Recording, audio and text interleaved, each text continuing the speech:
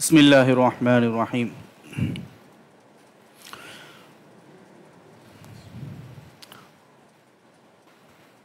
அளவற்ற அருளாளனும் நிகரற்ற அன்புடையவனுமாகிய எல்லாம் உள்ள அல்லாஹ்வின் திருப்பெயரால் ஆரம்பம் செய்கின்றேன் அல்லாஹ்வின் சாந்தியும் சமாதானமும் எம் உயிரிலும் மேலான உத்தம நபி முஹம்மது ஸல்லல்லாஹு அலைஹி வஸல்லம் அவர்கள் மீதும் அன்னவர்களின் வழியை அடியொட்டி பின்பற்றிய அத்துணை நல்லடியார்கள் சுகதாக்கள் சாலிஹீன்கள் பெரியார்கள் அத்துணை பேர்கள் மீதும் குறிப்பாக நம் அனைவர் மீதும் என்றென்றும் உண்டாவதாக என்று ஆரம்பமாக துவா செய்து கொள்கின்றோம்.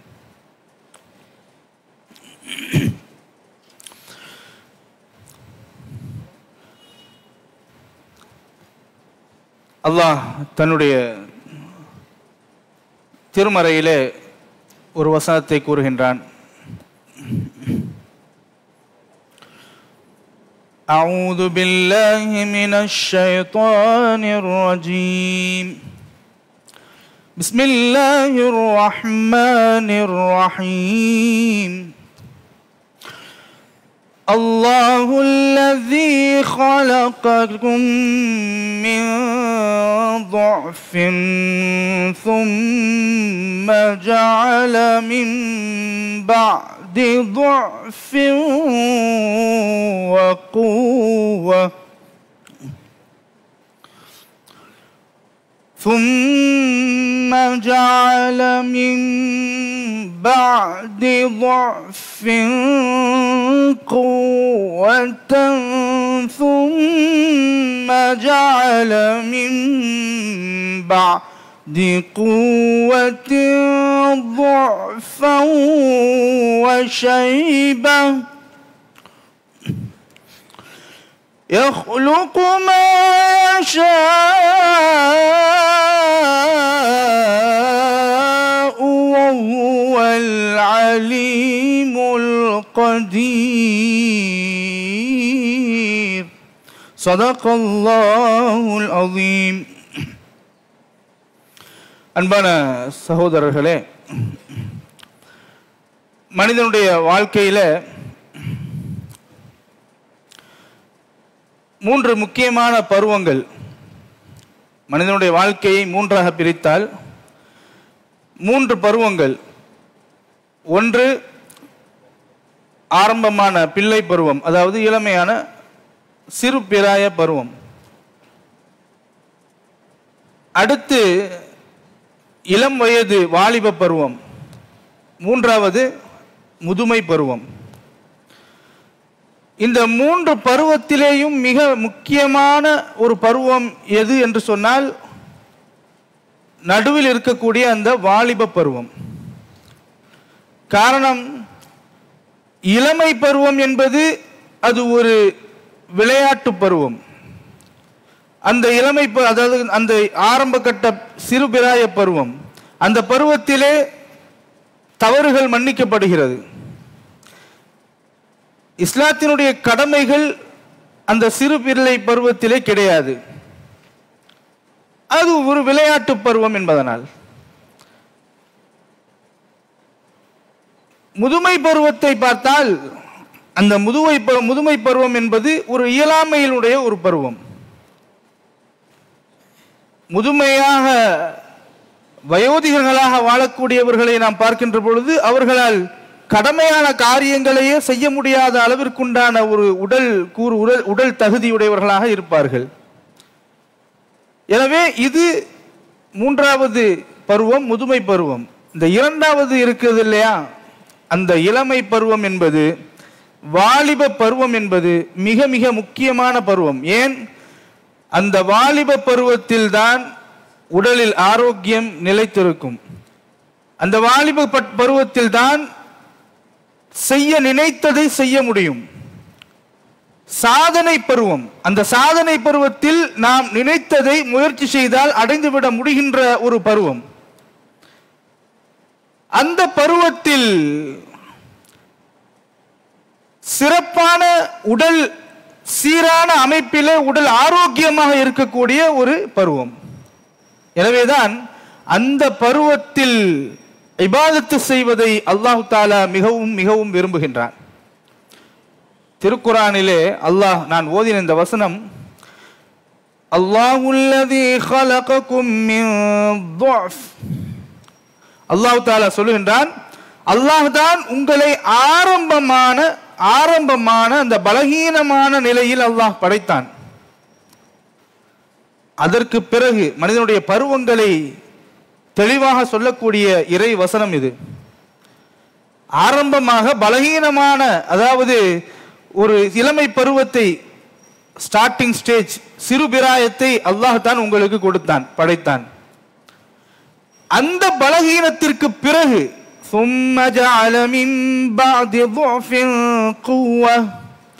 அந்த இயலாமை அதாவது பலகீனமான அந்த பருவத்தை தொடர்ந்து உங்களுக்கு ஒரு பலம் உள்ள ஒரு பருவத்தை அல்லாஹ் கொடுக்கின்றான். பலத்தை கொடுக்கின்றான். கூவத்தை கொடுக்கின்றான்.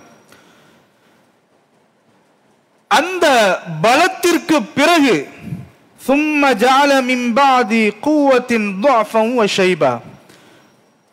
ஆரம்பத்தில் பலகீனத்தை கொடுத்தான் பிறகு ஒரு பலத்தை கொடுத்தான் அது இளமை பருவம். அந்த பலத்தின் பருவத்தினுடைய அடுத்த கட்டமாக முதுமை பருவத்தை இன்னொரு பலகீனமான ஒரு பருவத்தை அல்லாஹு தால உண்டாக்குகின்றான். நரை முடிகளை அல்லாஹ் உண்டாக்குகின்றான். தான் நாடியதை அல்லாஹு தாலா பயகுலு குமாயஷா அவன் நாடியதை அவன் படைக்கின்றான்.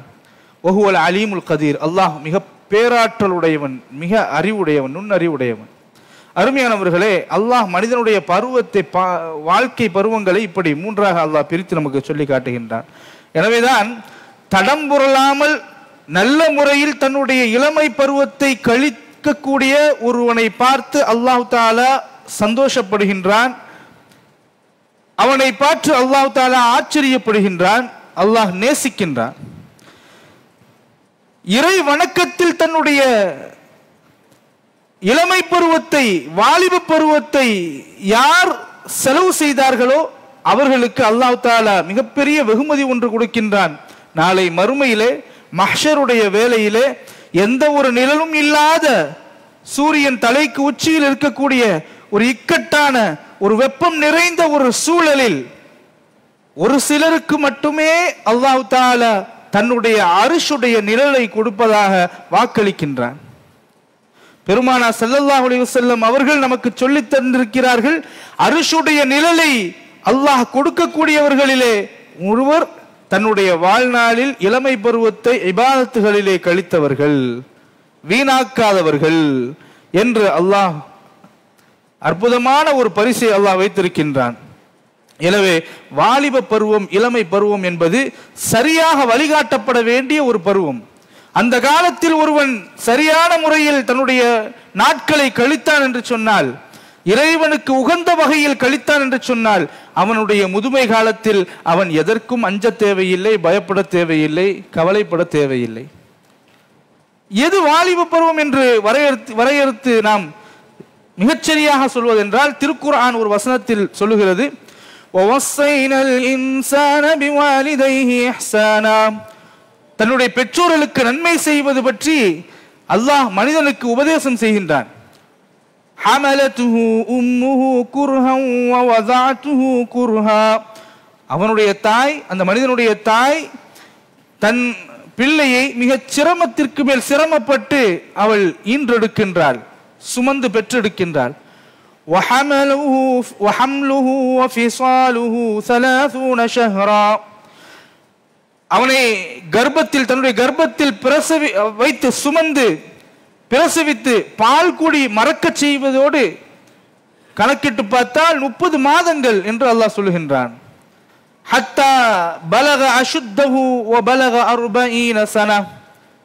பால் குடி மறக்கடிக்கப்பட்டதிலிருந்து அவன் நாற்பது வயதை அடைகின்ற வரை என்று அல்லாஹ் தாலா அந்த நாற்பது என்கின்ற வார்த்தை அல்லாஹ் தாலா எண்ணிக்கையை சொல்லுகின்றான். இந்த வசனத்தை அடிப்படையாக வைத்து இளமை பருவம் என்பது அந்த நாற்பது பால்குடி மறதியிலிருந்து அந்த நாற்பது வயது வரை என்று பெரியார்கள் சொல்லித் தருகிறார்கள். ஆக அருமையான அல்லாவின் நல்லடியார்களே இளமை பருவம் என்பது மிகவும் மிகவும் கவனமாக வழிகாட்டப்பட வேண்டிய கழிக்கப்பட வேண்டிய ஒரு மிக முக்கியமான பருவம். நபிமார்கள் நபிமார்களை அல்லாஹ் ரபுல் ஆலமீன் தேர்வு செய்கிறான் பாருங்கள். வாலிப பருவத்தை மிக அற்புதமாக அல்லாஹ்வுடைய வழியில் செலவு செய்து பத்தினித்தனமாக பாவங்களிலிருந்து தன்னை பாதுகாத்து சிறப்பான முறையில் வாலிப பருவத்தை கழித்தவர்களுக்கு அல்லாஹ் தாலா கழித்தவர்களை நபிமார்களாக அல்லாஹ் தாலா தேர்ந்தெடுக்கிறான் பாருங்கள். வாலிப வயதை வணக்க வழிபாடுகளில் கழித்த அந்த பரிசுத்தவான்கள் அல்லாஹு தால அவனுடைய நபிமார்களில் ஒரு சிலரை தேர்ந்தெடுக்கின்றான். இப்ராஹிம் நபி அலிஹிஸ்லாம் அவர்கள் அவருடைய வாழ்க்கையில் தன்னுடைய வாலிப பருவத்தை மிக அற்புதமாக கழித்திருக்கிறார்கள். தன்னுடைய இளம் வயதிலேயே இறைவனை தேடி ஆய்வில் ஈடுபடுகிறார்கள். தன்னுடைய டீனேஜிலேயே இறைவனை தேடி இறைவன் எங்கிருக்கின்றான் என்னை படைத்தவன் யார் என்பதை தேடி ஆய்வில் ஈடுபடுகின்றார்கள். ஆரம்பத்தில் இரவில் நட்சத்திரங்களை பார்க்கின்றார்கள். நட்சத்திரம் மறந்து விடுகிறது. இது நட்சத்திரம் என்னுடைய இறைவன் அல்ல என்ற முடிவுக்கு வருகிறார்கள். பிறகு சந்திரனை பார்க்கிறார்கள். சந்திரன் பகலில் வருவதில்லை மறந்து விடுகிறது. சந்திரனும் என்னுடைய இறைவன் இல்லை என்பதை உணர்கிறார்கள். பிறகு இதையெல்லாம் விட பெரியது சூரியன். இந்த சூரியன் என்னுடைய இறைவன் என்று எண்ணுகிறார்கள். பிறகு அந்த சூரியனும் மறைந்தவுடன் இது என்னுடைய இறைவனாக இருக்க முடியாது என்பது என்கின்ற ஆய்வின் இறுதி பகுதிக்கு வருகிறார்கள். இப்படி தன்னுடைய அறிவை தேடி இறைவனை தேடி ஆய்வு நடத்தக்கூடிய ஒரு மிகப்பெரிய ஒரு விஷயத்தை தன்னுடைய இளம் வயதிலேயே அல்லாஹ் அல்லாஹுவை தேடக்கூடிய அந்த பணியை இப்ராஹிம் அலி இஸ்லாம் அவர்கள் செய்கிறார்கள். ஒற்றை வாலிபனாக இருந்து அசத்தியத்திற்கு எதிராக குரல் கொடுத்தார்கள். ஒற்றை வாலிபனாக இருந்து ஒட்டுமொத்த இணை வைப்பாளர்கள் அன்று இன்னைக்கு நாம முஸ்லிம்கள் எத்தனையோ லட்சம் எத்தனையோ கோடி பேர்கள் வாழ்ந்து கொண்டிருக்கின்றோம் இந்த உலகத்திலே. அன்று இறைவனை வணங்கக்கூடிய ஒரே ஒரு நபராக இருந்தவர் யார்? இப்ராஹிம் அலி இஸ்லாம் அவர்கள். மற்ற எல்லாம் இறை வணக்கத்திற்கு எதிரானவர்கள் இறை இணை வைப்புக்கு சொந்தக்காரர்களாக இருந்தார்கள் அப்படிப்பட்டவர்களுக்கு மத்தியிலே மிக உறுதியாக தன்னுடைய கொள்கையை எடுத்து வைத்தார்கள் ஏன் தான் பிறந்த வீட்டிலேயே சிலைகளை வணங்கக்கூடிய ஒரு சூழல் ஏன் தன் தந்தையே சிலைகளை உருவாக்கக்கூடியவராக இருந்தார் وإذ قال إبراهيم لأبيه آزر أتتخذ أصناما آلهة إني أراك وقومك في ضلال مبين அழகிய அணுகுமுறையோடு தன்னுடைய தந்தையிடத்தில் அழகிய விவாதம் செய்தார்கள் இப்ராஹிம் அலைஹிஸ்ஸலாம் அவர்கள் இப்ராஹிம் தன் தந்தையை நோக்கி சொன்னார் அலைஹிஸ்ஸலாம் அல்லாஹ்வுக்கு இணை வைக்கக்கூடிய இந்த சிலைகளை நீங்கள் வணங்குகிறீர்களே நீங்களும் உங்களுடைய சமூகத்தார்களும் பகிரங்கமான ஒரு வழிகேட்டில் அல்லவா இருக்கிறீர்கள் என்று சொன்னார்கள் என் பக்கம் வந்து விடுங்கள் என்னுடைய இறைவனின் பக்கம் வந்து விடுங்கள் என்று அழைப்பு விடுத்தார்கள். அப்ப வயது என்ன? அவர்களுக்கு வெறும் இருபது வயதுக்குள்ளதான். வெறும் இருபது வயதை உடைய ஒரு வாலிபனாக இருந்து அன்று உலகையே ஆட்சி செய்து கொண்டிருந்த மாபெரும் மன்னன் நம்ரூத் அவனுக்கு எதிராக நின்று அவனுடைய சபையில் அவனுக்கு எதிராக நின்று ஓரிரை கொள்கையும் அல்லாஹ் ஒருவன்தான் அவனையே வணங்க வேண்டும் என்கின்ற அந்த ஈமானிய கொள்கையை உறுதியாக எடுத்து வைத்தார்கள். எத்தனை வயது? அவர்களுக்கு வெறும் இருபது வயது. ஆக நபி என்பவர்கள் மனிதர்களுக்கு மனித குலத்திற்கு வழிகாட்டுவதற்கு மட்டுமல்லாமல் உலகில் அசத்தியங்கள் அநியாயம் அசத்தியங்கள் அநியாயங்கள் எங்கெல்லாம் நடக்கின்றதோ அத்துணையையும் எதிர்க்கக்கூடிய ஒரு வாலிபராகவும் இருந்து வந்தார்கள். நபிமார்கள் என்பதற்கு இது ஒரு சாட்சி. இன்றைய இளைஞர்களுக்கு இப்ராஹிம் அலைஹிஸ்ஸலாம் அவர்கள் ஒரு மாபெரும் முன்மாதிரி. நபி யூசுப் அலைஹிஸ்ஸலாம் அவர்களுடைய வாழ்க்கை வரலாறை நாம் பார்க்கின்ற பொழுது மிகவும் ஆச்சரியமாக இருக்கிறது. யூசுப் அலைஹிஸ்ஸலாம் அவர்களை அவர்களுடைய வரலாற்றை குறித்து அல்லாஹு தாலா அஹ்சனல் கசஸ் அஹ்சனல் கசஸ் மிக அழகிய வரலாறு என்று சொல்கின்றான். குரானிலே அழகிய வரலாறு என்று ஒரு வரலாற்றை சொல்கிறான் என்றால் அது யூசுப் அலைஹிஸ்ஸலாம் அவர்களுடைய அந்த சரித்திரம். ஏன் யூசுப் அலைஹிஸ்ஸலாம் அவர்கள் அவர்களுடைய அந்த வாழ்க்கை முறை அவர்களுடைய அந்த பத்தினித்தனம் இறைவன் மீது கொண்ட அந்த ஈமான் பொறுமையை கொண்டு சாதித்த அந்த சாதனை இவை அனைத்தும் மிக அற்புதமான அழகிய வச அழகிய ஒரு வரலாறு. அல்லாஹ் ஒரு தனி அத்தியாயத்தையே நபி யூசுப் அலைஹிஸ்ஸலாம் அவருடைய பெயரிலே அல்லாஹ் இறக்கி வைத்தான். பத்தினித்தனம் என்றால் அப்படி ஒரு பத்தினித்தனம் மிகப்பெரிய சோதனை அவர்களுக்கு வந்தது. நமக்கு வருவதெல்லாம் என்ன ஒரு பெரிய சோதனையா? தான் வளர்ந்த வீட்டிலேயே தன்னை அரசியாக இருந்த அந்த பெண் தன்னை தவறான பாதைக்கு அழைக்கின்றாள். அவங்களுக்கு முன்னாடி ரெண்டே விஷயம். ஒன்று தன்னுடைய இச்சைக்கு நீ இணங்கிவிட்டால் உனக்கு வசதியான வாழ்க்கை அரண்மனை வாழ்க்கை சுகபோகமான வாழ்க்கை. என்னுடைய இச்சைக்கு நீ இணங்கவில்லை என்றால் உனக்கு சிறை கஷ்டம் பட்டினித்தனம். சுகபோகமான வாழ்க்கையை தேர்ந்தெடுப்பதா இன்பத்தை தேர்ந்தெடுப்பதா உலக இன்பத்தை தேர்ந்தெடுப்பதா அல்லது கஷ்டத்தையும் கடினத்தையும் சிறைவாசத்தையும் தேர்ந்தெடுப்பதா? இந்த சோதனை ஒவ்வொருவருக்கு முன்னாடி வந்து நின்றுச்சுன்னு சொன்னா நாம் எல்லாம் எதை தேர்ந்தெடுப்போம் என்பதை நாம் நம்மை கேட்டுக்கொள்ள வேண்டும்.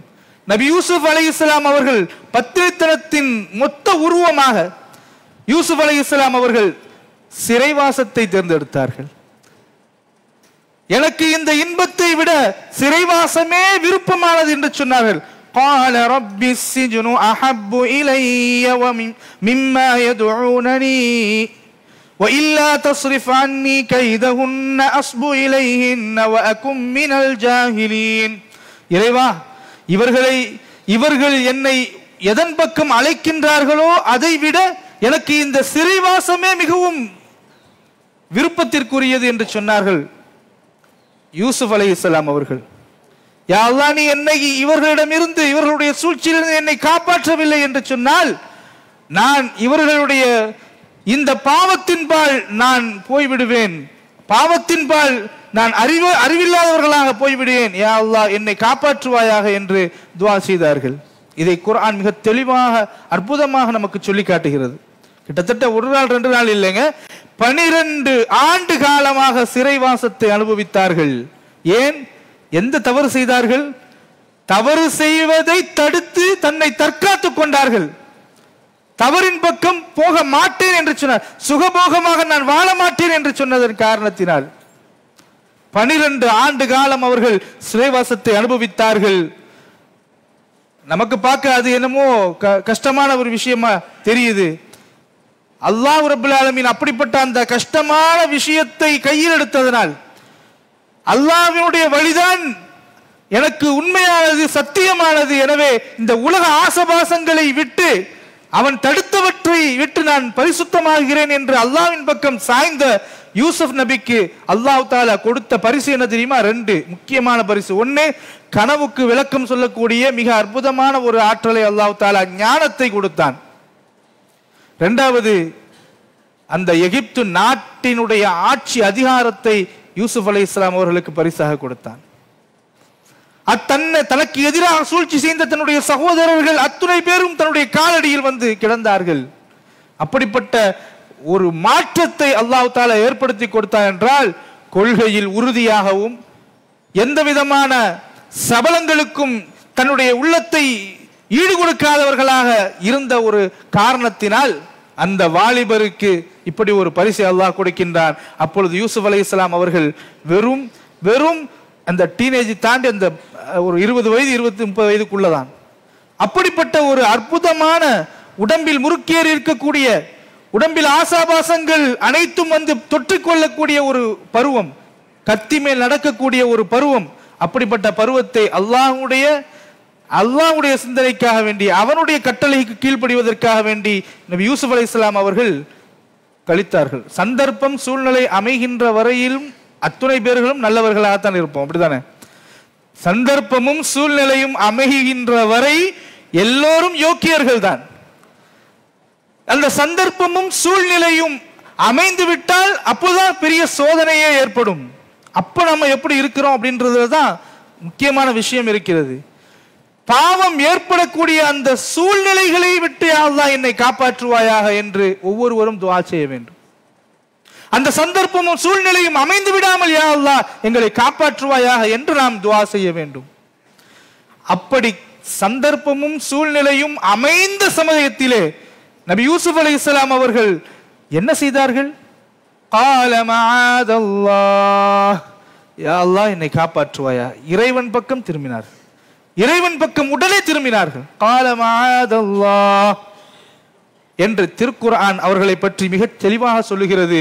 இப்படி இறைவனின் பக்கம் இந்த ஒரு இக்கட்டான சந்தர்ப்ப சூழ்நிலை அமைந்த சமயத்திலும் பாவத்தின் நுனியில் சென்ற பொழுதும் கூட அதை செய்யாமல் அல்லாஹ் பாதுகாத்தான் இல்லையா? அப்படி பாதுகாத்து தன்னுடைய வில் பவர் தன்னுடைய உள்ளத்தை கண்ட்ரோலுக்குள் வைத்துக்கொண்டு இறைவனின் பக்கம் திரும்பியதனால் காரணத்தினால் அல்லாஹு தாலா அவர்களை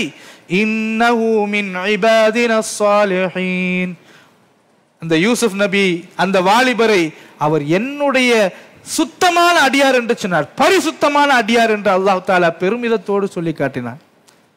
இப்படிப்பட்ட பெருமிதத்தை பெருமிதத்தோடு சொல்லி காட்டிய அந்த அந்த தூய்மையான நல்லடியார்களாக நாம் அனைவரும் நம்முடைய இளைவ இளவல்கள் நாம் அனைவரும் ஆக வேண்டும். அல்லாஹ் நம்மை பாதுகாப்பான கருமை அருமையானவர்களே இந்த இளம் வயது என்பது சாதனைக்குரிய ஒரு வயது. பல சாதனைகளை நம்மால் படைக்க இயலக்கூடிய ஒரு வயது என்று சொன்னேன். ஏழ்நூத்தி எழுபத்தி ஒன்னாவது ஏழ்நூத்தி பதினொன்னாவது ஆண்டிலே தாரிக் இபுனு ஜியாத் தாரிக் இபுனு ஜியாத் ஸ்பெயின் ஸ்பெயினில் வெற்றி அடைகின்றார். ஸ்பெயினில் ஸ்பெயினை வென்று வாகை சூடுகிறார். அப்போ அவருடைய வயது என்ன தெரியுமா? வெறும் பதினேழு. ஒரு போர் தளபதியாக.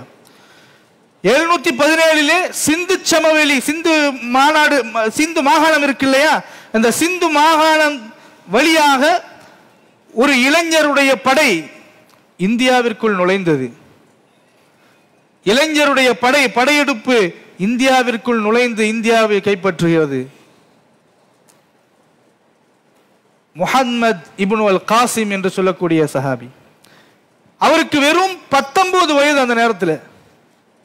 பெரும் பெரும் சாதனைகள் படைத்தவர்களை தன்னுடைய வாலிப வயதை சரியாக பயன்படுத்தவர்களை நீங்கள் இன்று சாதனையாளர்களாக பார்ப்பீர்கள்.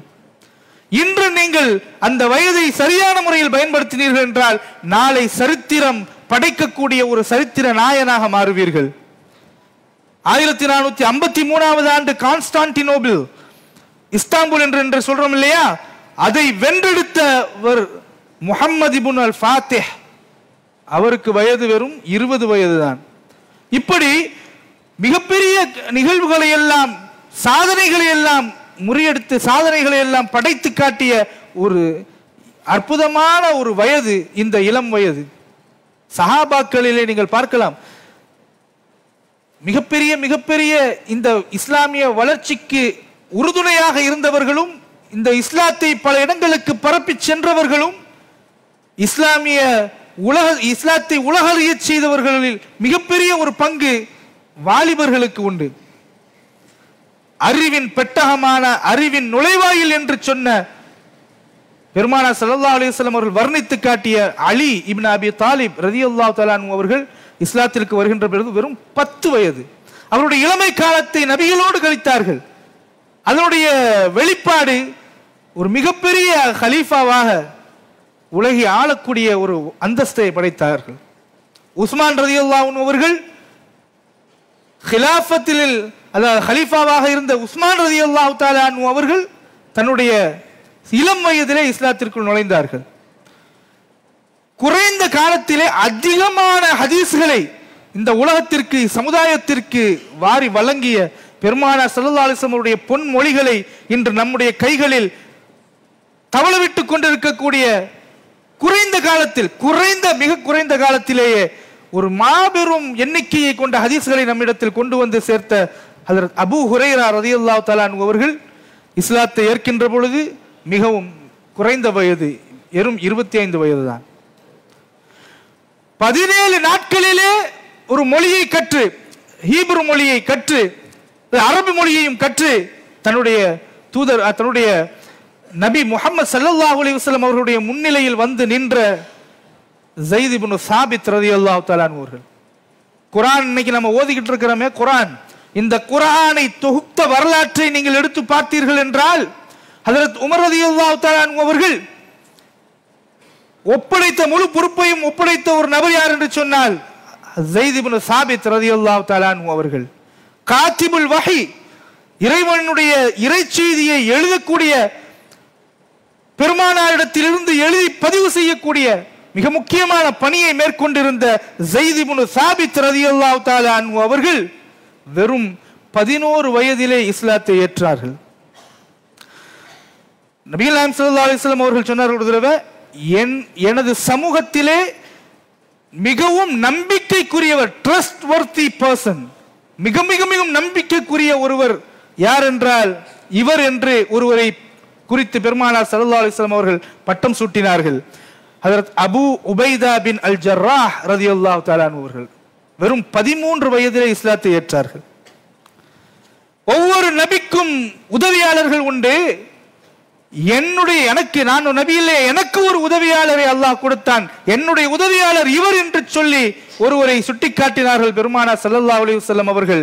ஜுபைர் இப்னு அவ்வாம் ரதி அல்லாஹ் தாலான் அவர்கள் இஸ்லாத்திற்கு நுழைகின்ற பொழுது வெறும் பதினாறு வயது. உகது போரை தெரியும் உங்களுக்கெல்லாம். உகது போரிலே மிகப்பெரிய இக்கட்டான சூழ்நிலைகளிலே பெருமானா ஸல்லல்லாஹு அலைஹி அவர்களுக்கு மிக உறுதுணையாக நபிகள் நாயம் ஸல்லல்லாஹு அலைஹி அவர்களை பாதுகாக்கின்ற மகத்தான ஒரு பணியை செய்த மிக முக்கியமான ஒரு சஹாபி யார் என்றால் சாதிபின் அபி வக்காஸ் ரதியுல்லா தஆலா அவர்கள். இஸ்லாத்தில் நுழைகின்ற பொழுது அவருக்கு வயது வெறும் பதினேழு. பெரும் வியாபாரியாக இன்று வியாபாரிகள் எத்தனையோ பேர் இருப்பீர்கள். வியாபாரியாக மிகப்பெரிய வியாபாரியாக மதீனாவில் மட்டுமல்ல மக்காவில் மட்டுமல்ல மக்கா மதீனா என்று வியாபாரத்திலே கோலோச்சிய ஒரு சஹாபி என்றால் உங்களுக்கு எல்லாம் தெரியும். மார்க்கெட்டை மட்டும் காட்டுங்க. நான் அங்க போய் நான் என்னுடைய வியாபாரத்தை ஜீரோல இருந்து மறுபடியும் நான் கோடீஸ்வரனாக ஆகிறேன் என்று சொல்லி வீரமாக சென்று அதே போன்று ஆகினார்கள் அந்த சஹாபி யார் என்று உங்களுக்கு தெரியும். அந்த சஹாபி வேறு யாரும் அல்ல. அப்துல் ரஹ்மான் இப்னு அவுஃப் ரலியல்லாஹு தஆலா அவர்கள் இஸ்லாத்தில் நுழைகின்ற பொழுது அவருடைய வயது வெறும் பதினேழு. இப்படி வாலிப வயதில் மிகப்பெரிய சாதனைகளை படைத்தவர்கள் ஏராளம் ஏராளம் இந்த இஸ்லாமிய வரலாற்றிலே. ஆனால் இன்றைய இஸ்லாத்தினுடைய நிலைமை இஸ்- இளைஞர்களுடைய நிலைமை வாலிபர்களுடைய நிலைமை மிகவும் பரிதாபத்திற்குரியதாக இருக்கிறது. சமுதாயம் சமுதாயத்தில் இஸ்லாமிய மார்க்கத்தினுடைய அந்த பொறுப்பை வாலிபர்களாகிய இன்றைய இளைஞர்கள் எப்படி அதை கையாளுகிறார்கள்? திசை திருப்பப்படுகிறார்கள். அவர்கள் இஸ்லாமிய மார்க்கத்தினுடைய அந்த அட்டாச்மெண்ட் ரொம்ப தூரமாகிக் கொண்டே செல்கிறது. அல்லாஹினுடைய ஆலயத்திற்கு வரக்கூடியவர்களுடைய எண்ணிக்கை வாலிபர்களிலே மிக குறைவாக ஆகிறது அல்லாஹினுடைய வேதங்களை ஓதக்கூடியவர்களுடைய எண்ணிக்கை குறைந்து கொண்டே செல்கிறது. அவனுடைய இல்- அவனுடைய சமூக பணிகளை ஆர்வத்தோடு செய்யக்கூடிய துடிப்பு மிக்க இளைஞர்கள் மிகவும் குறைந்து கொண்டே செல்கிறார்கள். காரணம் சோசியல் மீடியா காரணம் அவர்கள் கைகளிலே இருபத்தி நான்கு மணி நேரமும் தவழ்ந்து கொண்டிருக்கக்கூடிய தொலைபேசிகள் கை தொலைபேசிகள் இன்டர்நெட் வசதிகள் இவையெல்லாம் வசதிகளாக இறைவனுடைய அருளாக அல்லாஹ் கொடுத்தவற்றை எத்தனை இளைஞர்கள் தன்னுடைய நேரத்தை கழிப்பதற்கும் தாந்தோன்றித்தனமாக லட்சியம் இல்லாத ஒரு பாதையை நோக்கி செல்லக்கூடிய ஒரு சூழலை நம்மால் பார்க்க முடிகிறது. சினிமா போதை கேலி சித்திரங்கள் பண போதை சில பேருக்கு பெண் போதை சில பேருக்கு இப்படி ஒவ்வொரு விதமான போதைகளிலே போதைகளாகி அல்லாஹை மறந்தவர்களாக எத்தனை இளைஞர்கள் இருந்து கொண்டிருக்கிறார்? இளைஞர்கள் விழித்தல வேண்டும். இளைஞர்கள் விழித்தல வேண்டும். அல்லாஹ்வின் நல்லடியார்களே அல்லாஹ் தாலா நம்முடைய ஒரு ஒரு ஒரு சா- ஒரு வயதா வயதானவர் தரையில் தவ தரையில் நடந்து கொண்டு சென்று கொண்டிருந்தார். அப்பொழுது ஒரு வாலிபர் ஏளனமாக சொன்னார் என்னையா தேடிட்டு அவர் கூன் விழுந்து செல்கின்றார் என்ன தேடிட்டு இருக்கிறார் அப்படின்னு. அந்த வயோதிகர் சொன்னார் நான் நான் தொலைத்த வாலிபத்தை தேடுகிறேன் என்று சொன்னார். ஆம் வாலிபம் என்பது திரும்ப வர முடியாது. தொலைத்து விட்டால் தொலைந்ததுதான். ஆகவே அந்த வாலிபத்தை நாம் இருக்கின்ற சமயத்திலே உபயோகி உபயோகப்படுத்திக் கொள்ள வேண்டும். அல்லாவின் பக்கம் திரும்பிக் கொள்ள வேண்டும். அல்லாஹ் தலா அந்த வாலிப பருவத்தை பயனுள்ள வழியில் அவனுடைய வழியில் கழிப்பதற்கு நமக்கு அருள் புரிவானாக. வாஹிர் தாவானான் அல்ஹம்துலில்லாஹி ரபில் ஆலமின். அலாம் அலைக்கும் வரமத்துல்லாஹி வபரகாத்து